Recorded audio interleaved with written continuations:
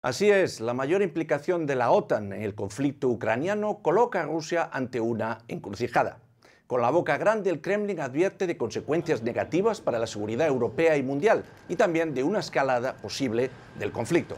Con todo, se muestra convencido de que ese suministro de armamento occidental no le impedirá lograr la victoria en el campo de batalla.